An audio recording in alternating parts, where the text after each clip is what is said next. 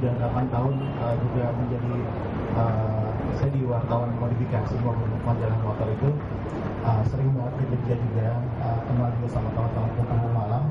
Jadi ini perkembangannya memang signifikan, meningkat sekali modifikasinya mirip dengan Bandung dan Surabaya. Itu kalau menurut saya tiga kiblat modifikasi di tanah air itu tiga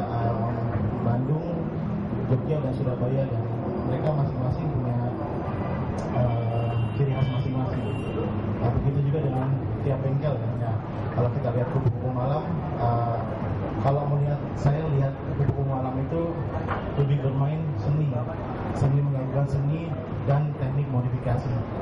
Nah, uh, untuk di sini uh, khusus untuk Yaris, se sebenarnya kalau ditanya tadi apa sih yang paling bagus, apa gayanya, yang seperti apa, nah semua modifikasi itu bisa bagus sesuai dengan fungsinya dan tujuannya masing-masing. Jadi setiap kontes seperti saya bilang kalau Yaris Show Off ini punya ciri khas bahwa tiap tahun itu punya konsep dan tema berbeda-beda. Karena apa? Supaya uh, kreativitas itu tidak berhenti mandek di satu uh, gaya aja.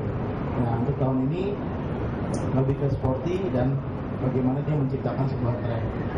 Nah, uh, jadi macam-macam. Uh, saya nggak bisa bilang sebuah gaya racing itu bagus, sebuah gaya, gaya itu bagus. Nah itu kita lihat uh, tergantung uh, peruntukannya. Tapi yang penting adalah uh, untuk dari show off itu yang akan kita lihat adalah uh, workmanship, yaitu kualitas pengerjaan, uh, kesesuaian dengan tema dan kondisi produk.